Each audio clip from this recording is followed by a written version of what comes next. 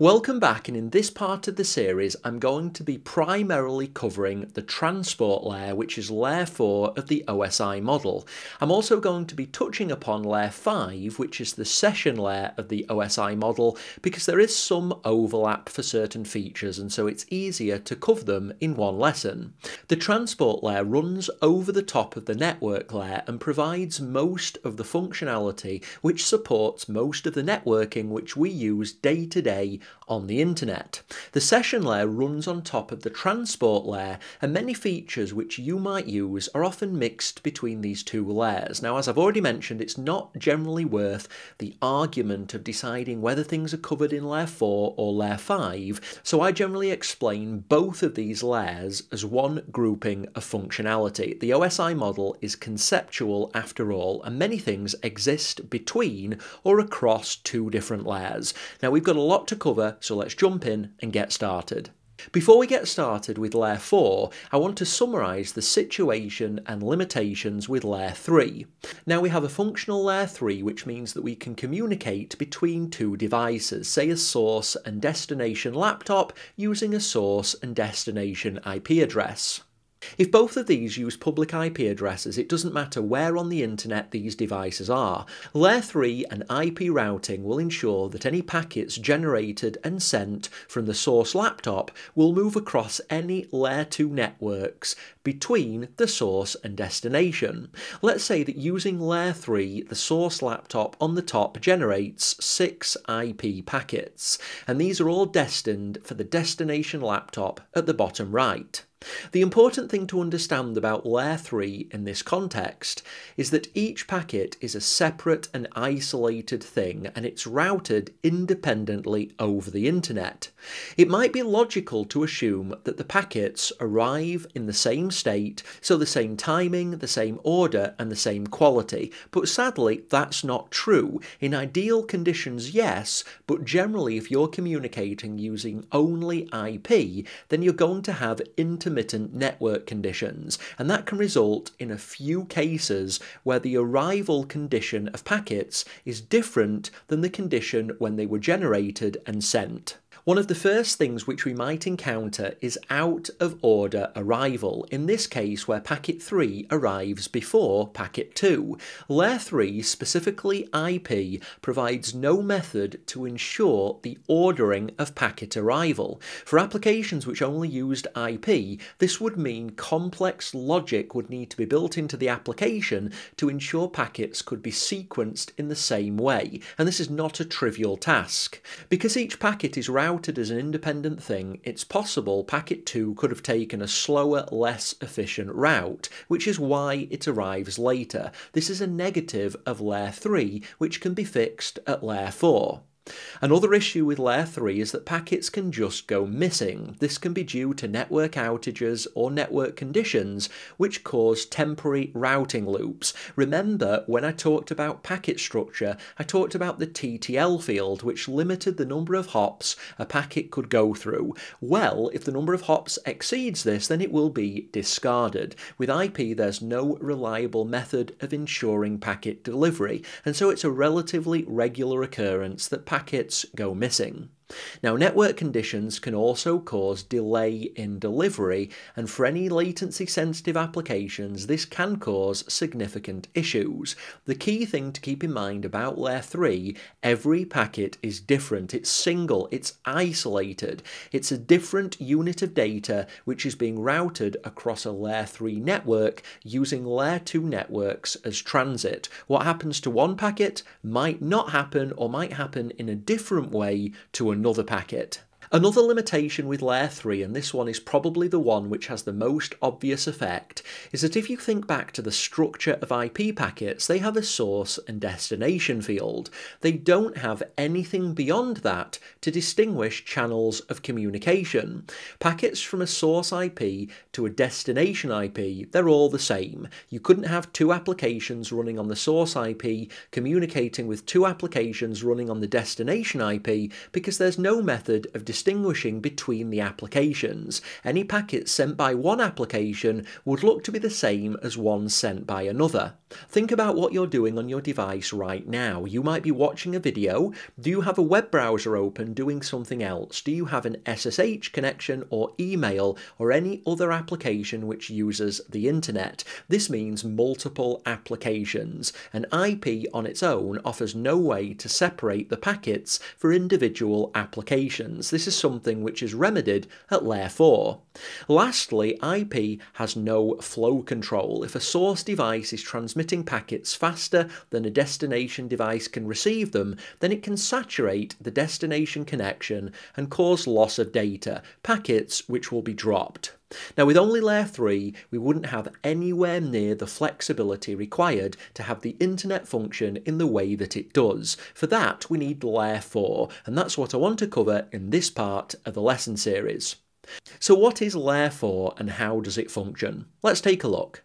So far, this is what we have network model wise. We've discussed the physical layer, which is layer 1 of the OSI model. This relates to how raw bitstream data is transmitted to or received from physical shared media. We've talked about layer 2, which adds identifiable devices, switches, and media access control, but layer 2 ends with isolated layer 2 networks. In the previous part of this lesson series, I introduced Layer 3, which adds IP addressing and routing so that packets can be routed from source to destination across multiple interconnected networks. Layer 4 builds on top of this. It adds two new protocols TCP, which stands for Transmission Control Protocol, and UDP, which stands for User Datagram Protocol. Now, both of these run on top of IP, and both of them add a collection of features depending on which one of them is used. If you've heard the term TCP IP, that means TCP running on top of IP. At a high level, you would pick TCP when you want reliability, error correction, and ordering of data. It's used for most of the important application layer protocols such as HTTP, HTTPS, SSH, and so on. Now, TCP is a connection oriented protocol, which means that you need to set up a connection between between two devices, and once set up, it creates a bidirectional channel of communications. UDP, on the other hand, is faster because it doesn't have the TCP overhead required for the reliable delivery of data. This means that it's less reliable. Now, there's a great joke about UDP. I would tell you about it, but you might not get it. Anyway, it's a good job my lessons are better than my jokes. In this lesson, I'm going to spend most of my time talking about TCP because it's used by more of the important protocols that you will use day to day on the internet. But just know that both TCP and UDP, they both run on top of IP and they're used in the same way. They use IP as transit. TCP just offers a more reliable connection-oriented architecture, whereas UDP is all about performance. So they're a simple trade-off. Now for this lesson series, as I talked about, I'm going to be focusing on TCP because that's what's used for most of the important upper layer protocols. So let's take a look at exactly how TCP works.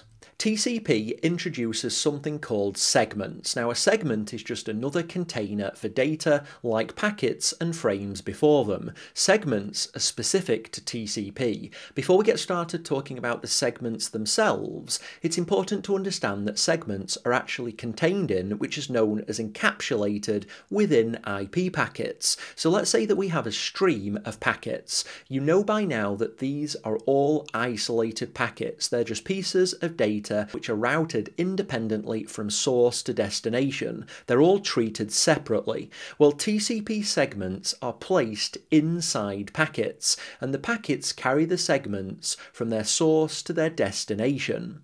Segments don't have source or destination IP addresses because they use the IP packets for the transit from source to destination. This is all handled by Layer 3, in this case the Internet Protocol. TCP segments add additional capabilities to IP packets. Let's step through the structure of segments so that we can fully understand them, and I'm going to skip past a few attributes of segments just as I did with layer 3, because there are some parts which are less important or they're situational, so I won't be covering either the options or padding fields within a segment.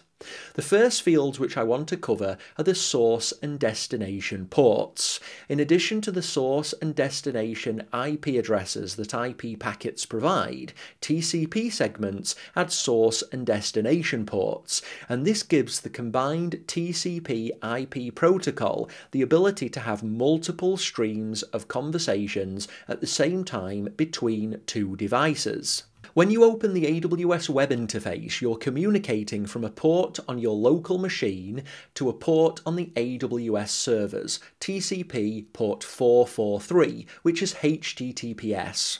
Now, because of ports, you can have multiple streams of communication from your machine one to AWS, one to Netflix, and one to this website where you're watching this video. At the other side, AWS can have multiple streams of communication to their servers. Each conversation is a unique combination of the source and destination IP, the source port, and the destination port. All of these four values together identifies a single conversation, a single communications channel. These two fields are what allow the internet to function in the flexible way that it does. It's why SSH and HTTPS can exist on the same EC2 instance, and why you can have multiple SSH connections open to the same EC2 instance if you wanted to. And I'll cover more about how this works as we move through this lesson. Now next within the segment is sequence and the sequence number is incremented with each segment that's sent and it's unique. It can be used for error correction if things need to be retransmitted and it can be used to ensure that when IP packets are received and the TCP segments are pulled out they can be correctly ordered. So the sequence number is a way of uniquely identifying a particular segment within a particular connection so that both sides can make observations observations about it, and the way that these observations are done is using acknowledgements. The acknowledgement field is the way that one side can indicate that it's received up to and including a certain sequence number. Every segment which is transmitted needs to be acknowledged. Remember that TCP is a reliable protocol, and so if a device is transmitting segment 1, 2, 3, and 4 to another device, then the other device needs to acknowledge that it's received received segment 1, 2, 3 and 4 and this is what the acknowledgement field is for so sequence number and acknowledgement are used hand in hand.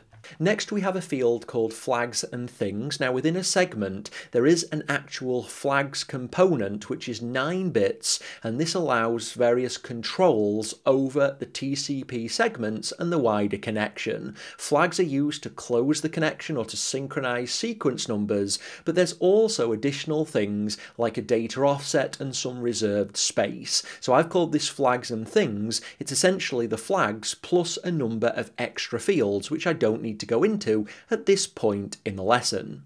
Now next we've got the TCP window and this is interesting. This defines the number of bytes that you indicate that you're willing to receive between acknowledgements. Once reached the sender will pause until you acknowledge that amount of data and this is how flow control is implemented. It lets the receiver control the rate at which the sender sends data. If you use a smaller window it provides additional levels of control over how quickly you're sent data. Larger windows are more efficient because the header of a TCP segment takes up an amount of space, and the smaller the window, the more headers are involved. So this window setting is quite important if you're using TCP for practical reasons, but we don't need to go into too much detail in this lesson.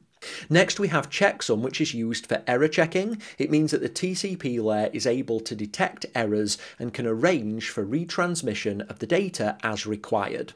And then lastly, we have the urgent pointer. And this is a cool feature. Imagine if you have a data transfer application where 99% of data is the data being transferred and 1% is control traffic, so communication between the client and the server coordinating the actual data transfer. While setting this field in a segment means that both sides can have separate processing so that control traffic always takes priority within the communication. So any protocols which are latency sensitive and transfer data, such as FTP and Telnet, can use this field. Now all of these fields together are known as the TCP header, and the capacity of a TCP segment which remains is logically enough used for data.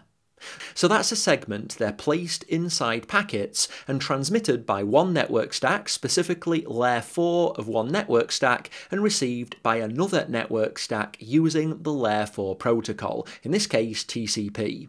Okay, so this is the end of part one of this lesson. It was getting a little bit on the long side, and so I wanted to add a break. It's an opportunity just to take a rest or grab a coffee. Part 2 will be continuing immediately from the end of part 1, so go ahead, complete the video, and when you're ready, join me in part 2.